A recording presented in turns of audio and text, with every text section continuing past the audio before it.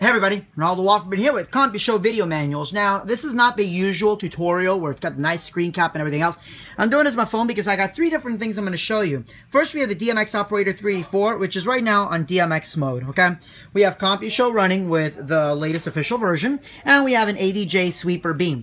Now, I want to show you something really cool, and, and this part has been going on in CompuShow for a while, right? So, for example, we have uh, just a show here, okay? And you could actually use the DMX in so you could dim stuff in and out, right? So I could actually map a fader to control a light. So if you don't have a MIDI board and you're using a DMX board, you could use your old school style DMX board to fade in and out. Now I currently don't have this mapped, but easily done. Now the way that I would do that is I would just right click, or I can actually go into my uh, console, okay? We're just gonna add just something simple, right? So we're just gonna do let's say a 12 channel DMX. There it is right there. We're going to right click on the dimmer. Okay. Link, click the console window.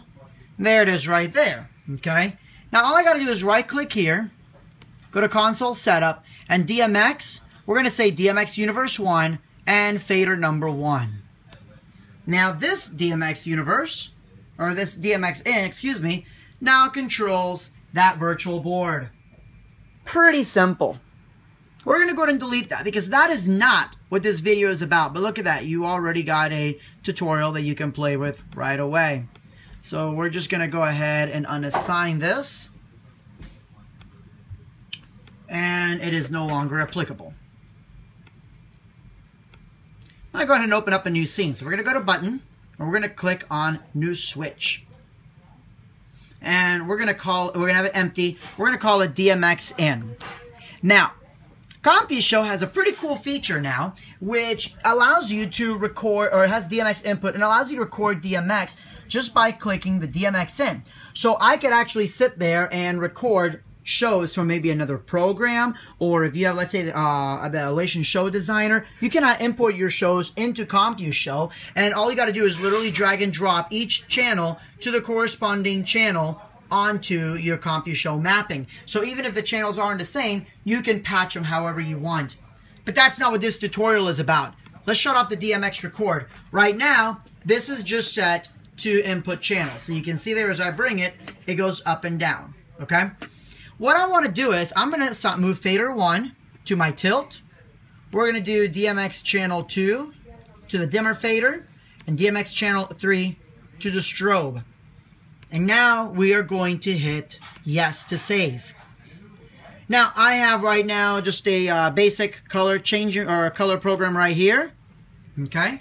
When I bring this up, you'll see that it moves. I'm going to go ahead and bring that up there. So now I can actually control my lights live doing this. Now, what is the difference between this control and what I just showed you? That when I shut this off, it doesn't do anything. Okay, so I can now go into dimmer and have a different control there. If I want to control it with the DMX board, I just bring this up here. Now, there's my cat, by the way. He's going absolutely bonkers. That's Munch. Munch, say hi. Say hi, Munch. He's a pretty Munch. Anyways, why is this important? Well, because the sweeper beam is a beautiful fixture. Just like many of the pixel mapping fixtures out there, you can load it into CompuShow. You can do some really cool effects using the rect. Make sure you watch my tutorial on that to make a cool matrix wall. But you know, there's so much more that you could do than just CompuShow as far as the matrix wall. Because let's say you have 20 or 30 of these, okay? Or let's say you have the Dotz Matrix and you want to be able to use CompuShow to control the colors on the fly if you wanted to. Or let's say you want to advance video pixel mapping control using the Easy Cling. This is going to allow me to take a program such as uh, LED Master or Media Master Express, Media Master Pro, even Madrix, and I'm going to convert it to run on this. Now, if you have not familiar with this box, this is actually really cool because I could take this into, let's say, for example, a Dotz Matrix, and it would convert KlingNet into DMX. But you can't do it with that because you still have pan and tilt and everything else. So in the next video, I'm going to show you how to convert KlingNet to run on this. So basically, we're going to be able to run KlingNet in and out of this, and we'll be able to control the pan and tilt movements.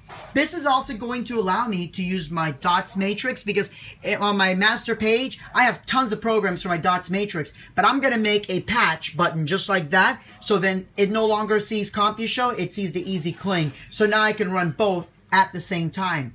Basically, this is a built-in DMX merger. And to me, for software, this is a game changer. You gotta stay tuned for the next video. Check it out. Again, my name is Arnaldo Loftman with CompuShow Video Manuals. I am beyond excited to show you this feature. It is currently out in the current beta. Guys, if you have any questions, please make sure to share with your friends. Tell everybody to check out my videos if they use CompuShow. And I also have videos on these guys right here. Just go to masterschooldances.com. Again, masterschooldances.com. Click on tutorials, and you'll see plenty of tutorials on ArKaos, CompuShow, and KlingNet. Thank you guys so much. Good night, and God bless.